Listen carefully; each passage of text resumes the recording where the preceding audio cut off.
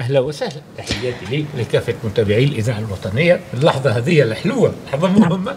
آه انه نحن موجودين في مقر مجلس النواب وقاعدين نعملوا في بث مباشر آه، لتغطية آه، في انتظار على يعني أداء السيد رئيس الجمهورية نعم. اليمين الدستورية أمام أعضاء مجلسي النواب والجهات والأقاليم نعم.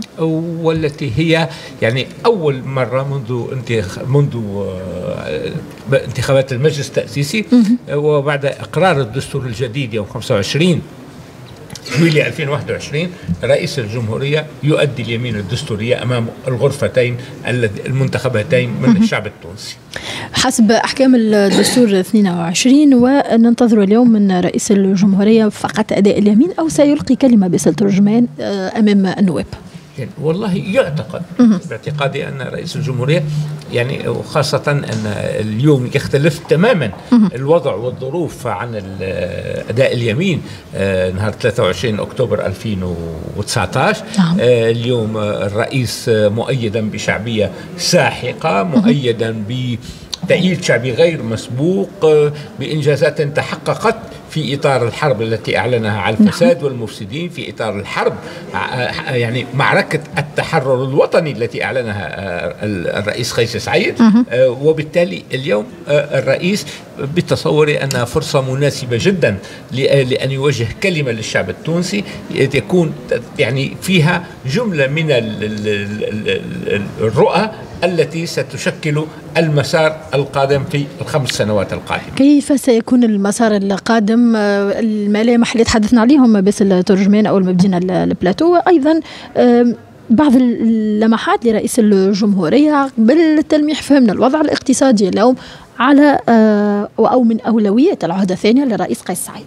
نعم. بالتأكيد الوضع الاقتصادي وأيضا يجب يعني أنا اللي قاعد نتلمسه هذه حاجة تسعدنا تماما هي أن هنالك توجه جدي حقيقي إيه؟ بأن يكون هنالك تكامل اقتصادي وتجاري مع الأشقاء. لا يعقل أن تكون المبادلات التجارية والأسواق بين بين هذه الدول الثلاث ما زالت مقتصرة وفي هذا الحد الأدنى هنالك تحرك جدي ويبدو أن هنالك نوع من التفاهمات. وهذا أمر يفرح آه، يعني الشعوب الثلاثة آه، تونس الجزائر ليبيا تفاهمات من أجل أن تكون هنالك آه، يعني حركية اقتصادية مناطق حرة تبادل تجاري نعم. حر على حدود الحدود مع الأشقاء في الجزائر والأشقاء في ليبيا. وطبعا هذا ليس سرا ما ساذيعه ان يوم الرئيس الجزائري وجه دعوة رسمية للرئيس قيس سعيد لزيارة الجزائر يوم 4 نوفمبر. 4 نوفمبر. القادم للمشاركة في الذكرى السبعين لإحياء اندلاع الثورة الجزائرية ووجهت أيضا دعوة رسمية إلى رئيس مجلس الرئاسي الليبي السيد محمد المنفي من أجل يعني استمرار العمل. نحن نتفكر أنه في شهر أفريل الماضي كان فما قمة ثلاثي لقاء ثلاثي عقد في تونس واليوم هنالك لقاء ثلاثي وأنا نتصور أنه نجاح تجربة التكامل الاقتصادي وفتح الحدود تماما مثل ما شاهدناه في الاتحاد الأوروبي رغم كل الخلافات الدموية التي كانت بين نعم. بين بين دولها وشعوبها بعكسنا تماما.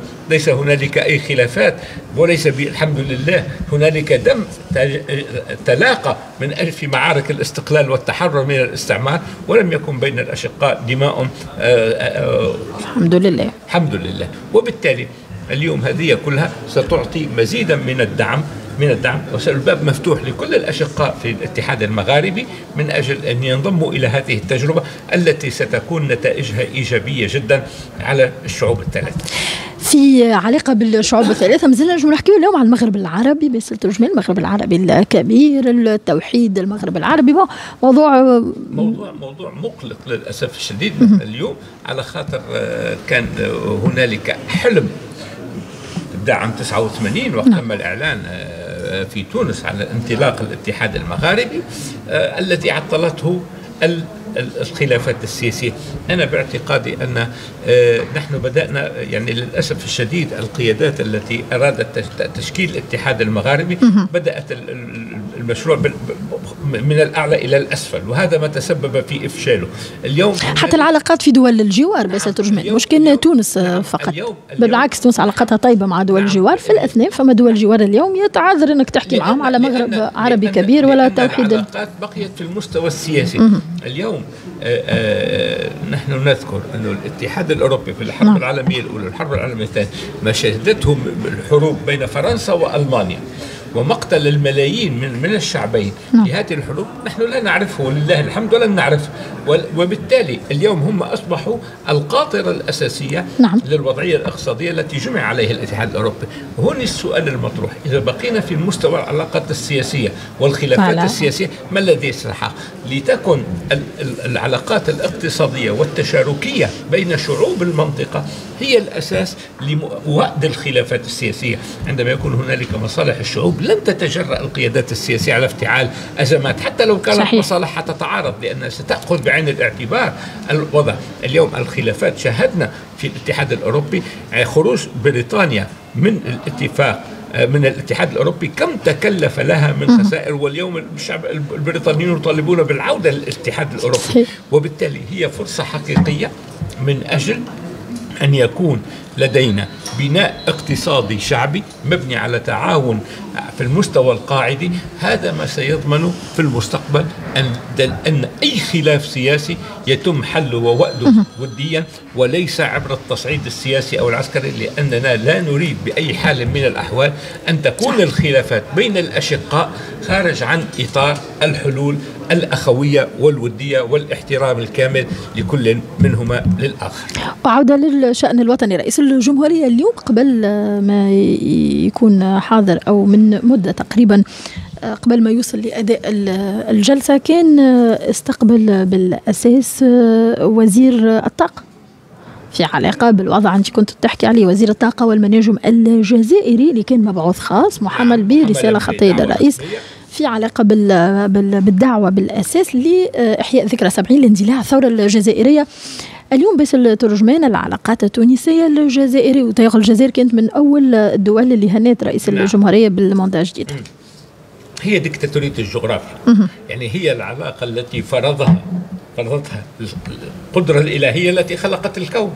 وبالتالي لا يمكن لأحد منا أن يتخلى أو يتنافى مع الآخر. يعني هو السؤال كيف يمكن أن ننفي علاقة بدأت قبل تأسيس الممالك والدول وقبل التاريخ في علاقة هذه الشعوب المترابطة تاريخيا فيما بينها؟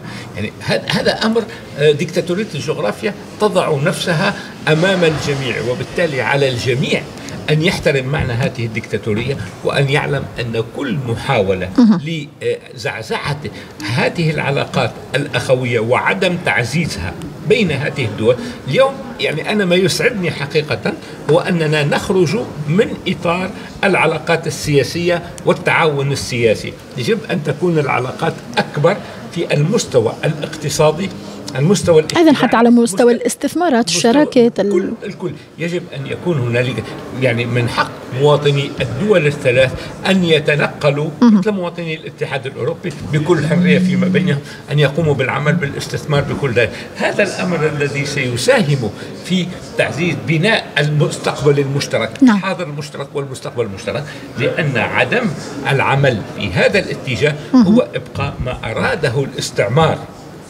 ليكون فاصل ليكون بيننا حدود وهمية من حدود وهمية وخلافات سياسية حتى لا يكون هنالك توحد.